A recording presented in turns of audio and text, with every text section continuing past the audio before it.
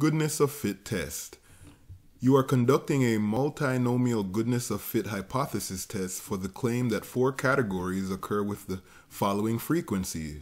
So the null hypothesis is that in the population, 10% are, categ are category A, 30% are category B, 10% are category C, and 50% are category D. And what we have is we have some observed frequencies here from each category, A, B, C, and D. So what we're trying to do is we're trying to figure out what the expected frequencies would be if these proportions are actually accurate. So what we want to do first is we want to figure out how many observations there are total in the sample. So we just add up all of the frequencies 11 plus 32 plus 24 plus 58 gives us 125.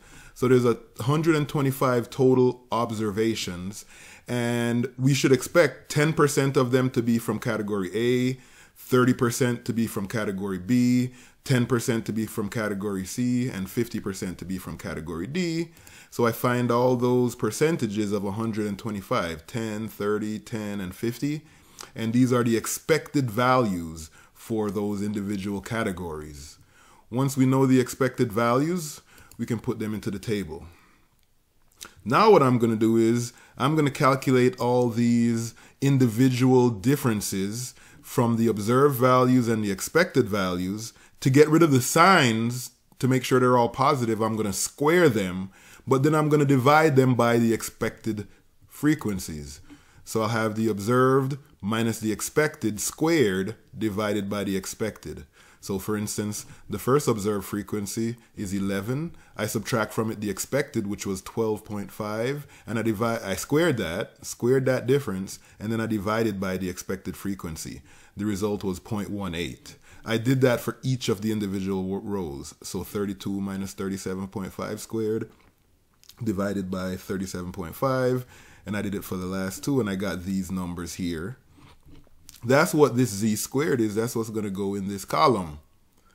So those are the individual differences squared and then normalized by dividing by the expected frequency. So those values go into to that last column in the table. The chi-squared test statistic that we're looking for is actually the sum of these z-squared values.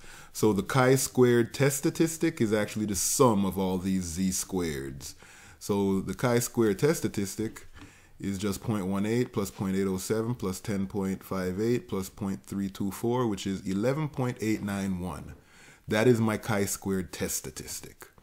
After we found the chi-squared test statistic, we want to know where that is in this um, null distribution. The null distribution is under the assumption that this null hypothesis is true. If this null hypothesis is true, I would expect the, the um, observed values to equal the expected values. And that would mean that the sum of all those z squareds would be very close to zero.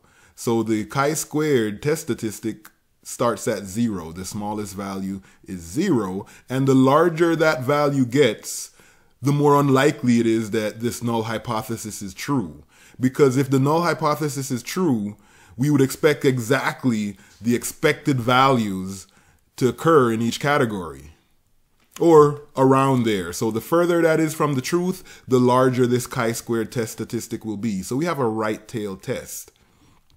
So this is the chi-squared test statistic 11.891. And remember, the larger that test statistic is, the more evidence there is against the null hypothesis.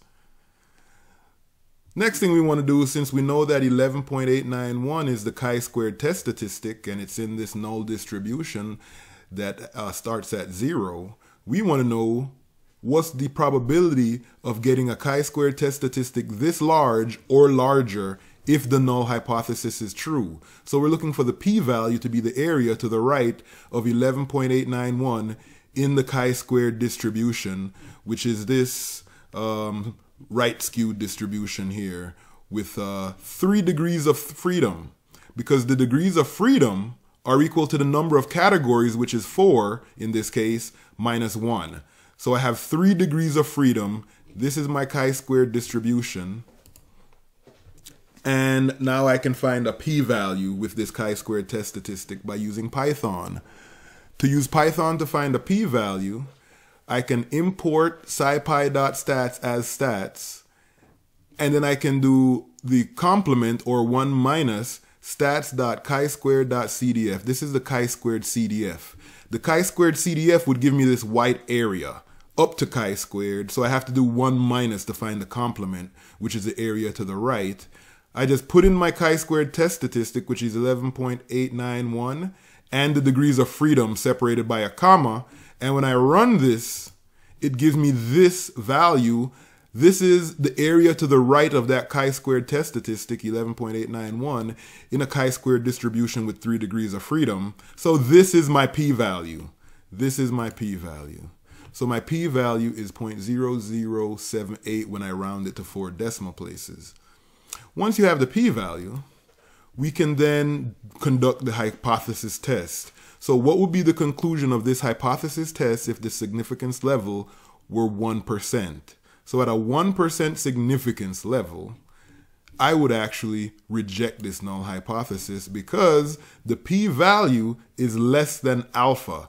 And we know that if the p-value is less than or equal to alpha, we reject the null hypothesis.